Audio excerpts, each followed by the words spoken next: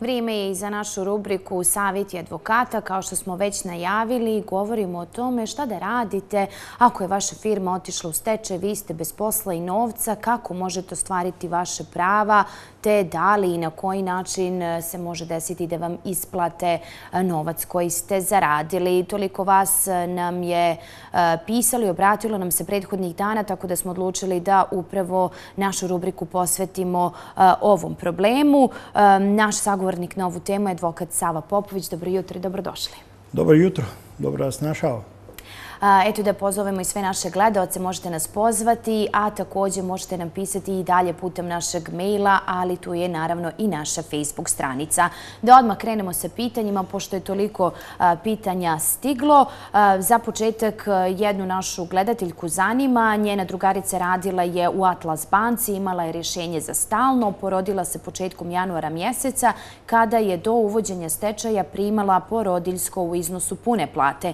Nakon uvođenja stečaja, stečaja rekli su je da ona kao porodilja uopšte nije zaštićena, već je sleduje kao i sve otkaz i odlazak na biro. Pitanje glasi da li je moguće da porodilje kao osjetljiva kategorija uopšte nije su zaštićene zakonom o stečajnom postupku ili zakonom o radu. To je jedno pitanje, poslije ćemo pročitati i drugo.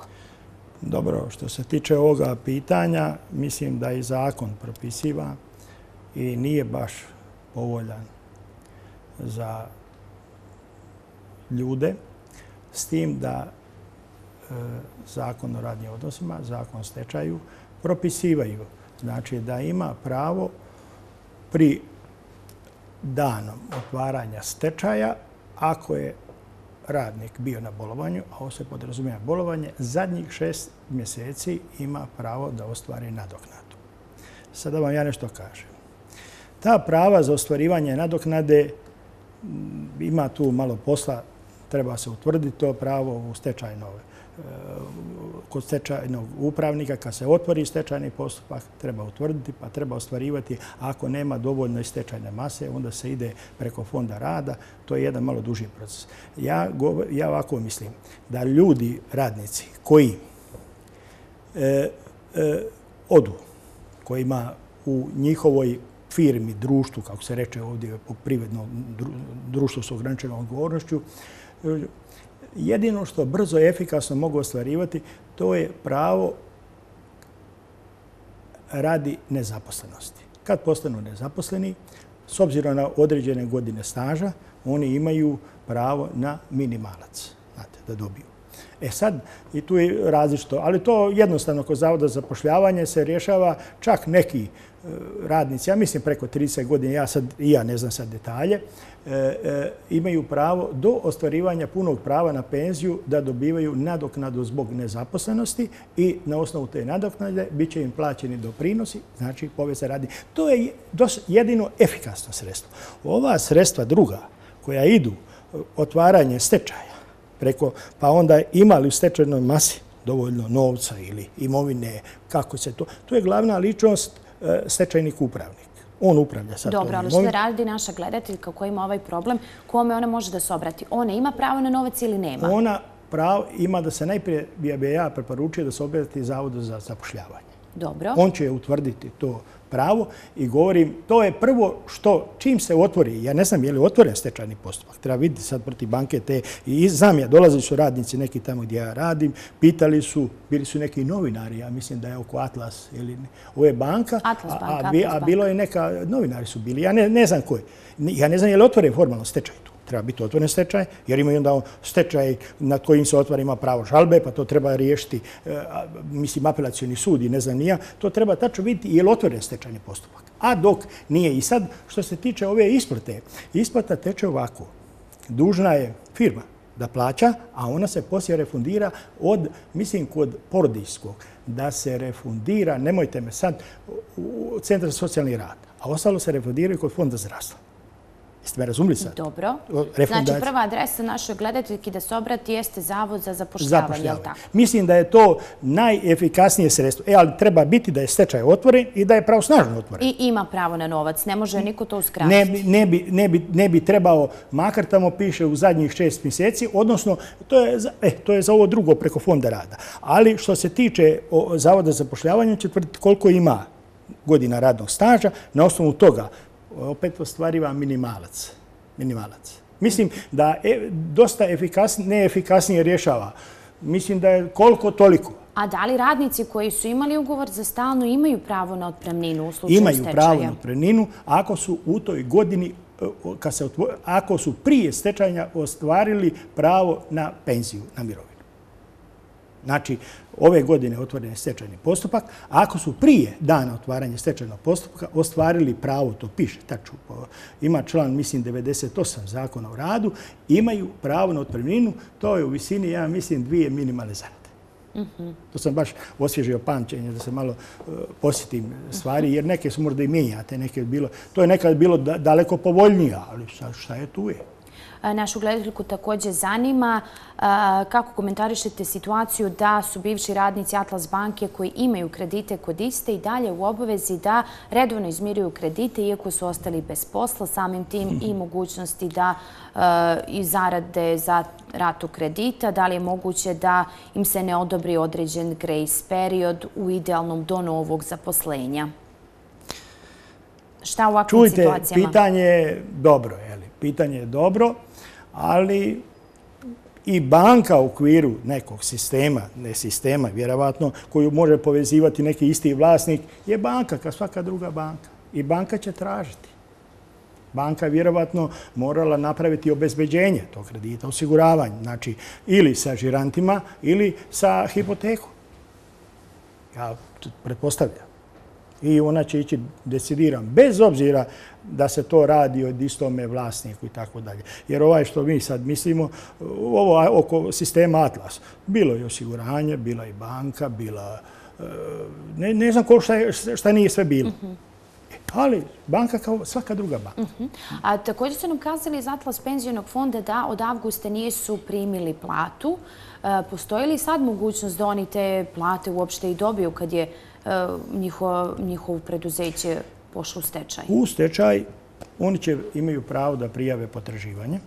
To će evidentirano biti potraživanje, šta oni potražuju i koliko potražuju. Onda će se vidjeti stečajne mase, odnosno koja je ostala, ne znam šta je tu, može li se od toga šta namiriti.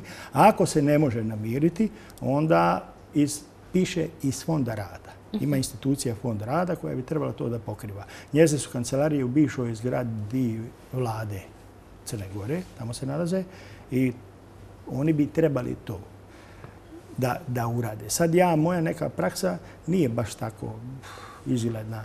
Da, ne, ne, ne, ne, ne bi želio sad o tome detalje, nije sam neku radio veću istragu da vidim fond rada može li da to pokriva. Fond rada praktično pokriva ono što ne može izmiriti se iz tečajne mase. Ili ako se nešto izmirilo, on mora da pokriva razliku. Vidim u dalje da bi za neki su radnici dolaze od nekih drugih pa bi pokrili e, e staž radi ostvarivanja prava na penziju. A to sve odnosi na radnike koji su danom otvaranja stečaja bili u radnom odnosu. Znači, ima tu malo i komplikacija dosta. Mhm. Zato sam se obratio da ljudi bi shvatili da je Zavod za zapošljavanje najbolja stvar. Znači, koliko, toliko, minimalna zarada, sve zavise od godina radnog staža. Znači, od godina koliko će ostvarivati to pravo.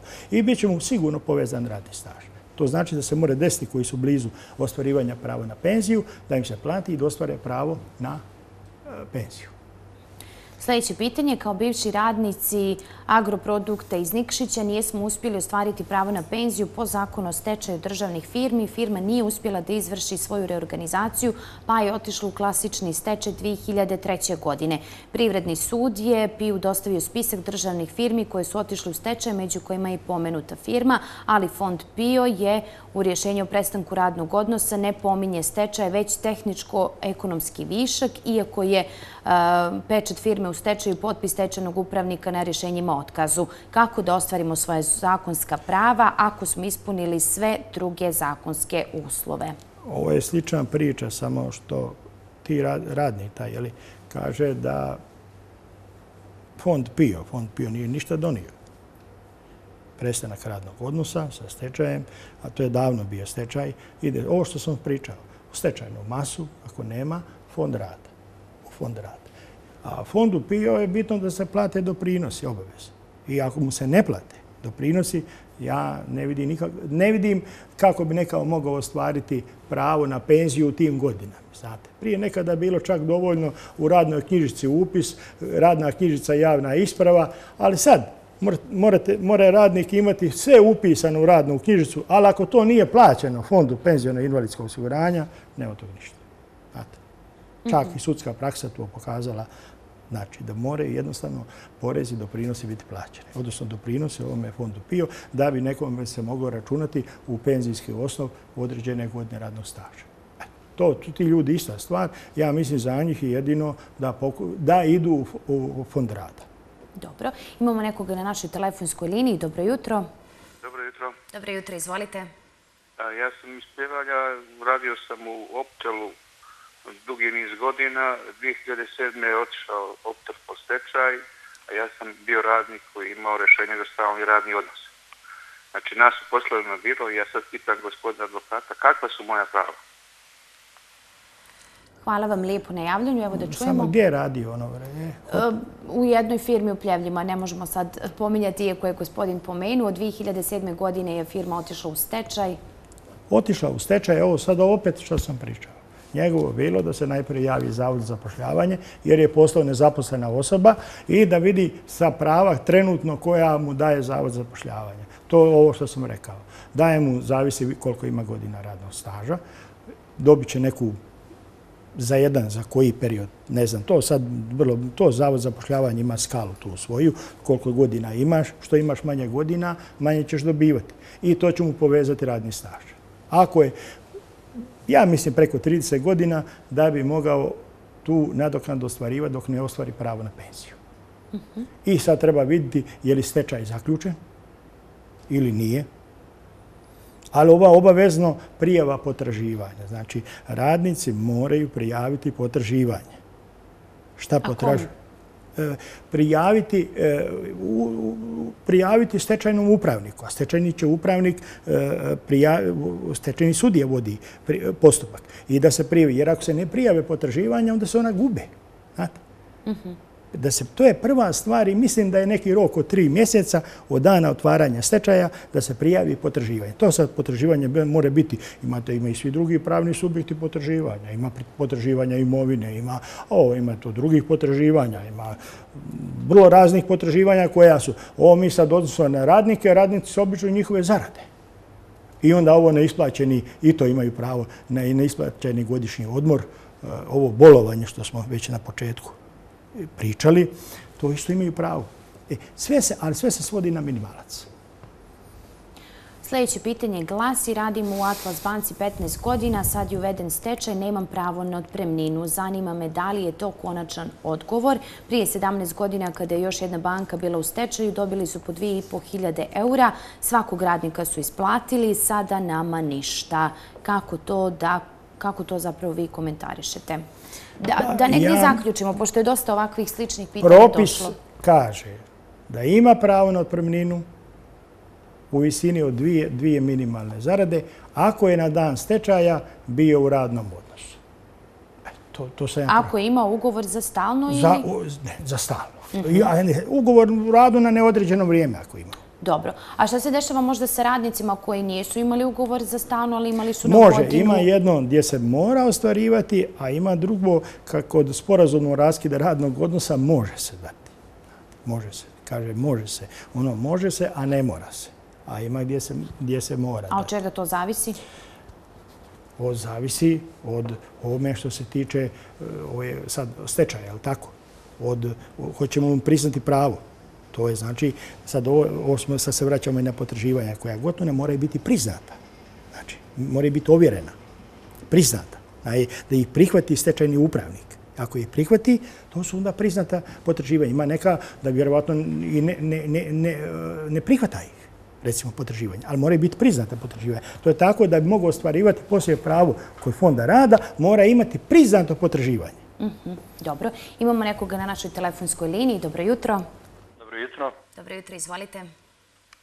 Pitanje, pozdrav za, za vas i za gosta i pitanje. Radio sam u, u, u Budvi u, u jednoj firmi 2013. Alo? Čujemo vas, čujemo vas. u Budvi sam radio u jednoj firmi u kojoj nisu izvršeni uplata doprinosa za poreze i, ovaj, i socijalno osiguranje za 2013. 14. i 15. godinu. Ja sam eh, eh, podnio zahtev u Poreskoj upravi koja je napravila inspekcijski, eh, inspekcijsku kontrolu i obračunala iznos doprinosa za te tri godine. Ta firma umeđu vremenu je, pošto su bili osnivači iz Srbije, prestala sa radom, koliko znam nije uvedena ni, ovaj, ni, ni stečaj, nije se prijavila ni za reprogram duga, jer tom prilikom kad sam uh, išao u Poresku upravu, njihov račun je blokiran, sa 38.000 na 250.000 duga za poreze i doprinose. Kako da ostvarim to svoje pravo? Hvala vam lijepo na javljanju. Evo da čujemo. U ovome konkretnom slučaju, pošto je blokirana, trebali bi ti povjerioci pokrenuti otvaranje stečaja. To bi bio red neki. Kad se otvori stečajni postupak, onda mogu ostvarivati ova druga prava svoje. Znate, ovo je karakteristično. Sad je ne znam odakle nije firma, sad to treba vidjeti gdje je sjedište, nešto on govorio iz Srbije da je. Znači, kad se god tako gomilaju dugovi i postoji to potraživanje, treba jednostavno povjerioci. Znači, povjerioci nije to samo radnici, mogu i oni, ali ima drugih povjerilaca kojima jedini izlaz otvaranje stečajnog postupka. Ali da vam rečem, bilo kakva, pazite, stečaj ne dođe iz neba od jedan put. To se provlači već dugi niz godina. I onda se treba u tome se nalazi... Dobro, ali u ovom slučaju se nije desio stečaj i sami gospodin Ne, ne, pa ja govorim, mhm. nije se desio stečaj. Treba pokrenuti stečajni postupak. Stečajni postupak. Onda kad se otvori stečajni postupak, vidit će šta oni imaju. Ali ako se ne pokrene, šta onda? Molim? Ako se ne pokrene stečajni postupak? E sad ja, onda za sad on bez stečajnog postupaka ne može ostvariti. Jedino ako ta fira stala na noge, ono što kaže, pa počela da radi nešto, e, onda mogu uvijek, ta obaveza postoji za fond. Ili ovo solidarno, ako može, da se ode u fond rada Podgorici i da se, njih, da se e, napravi ne znam, zahtjev njima da vidimo bili oni mogli ako je takva situacija. Taka kakva je, ako nije otvoren i stoji tamo dug, dug, dug i ne znam koliki dug. To, to, je, to, to mu je to. U redu, hvala vam lijepo što ste ovoga jutra bili naš gost u našoj rubrici Savjeti advokata. Hvala i vami.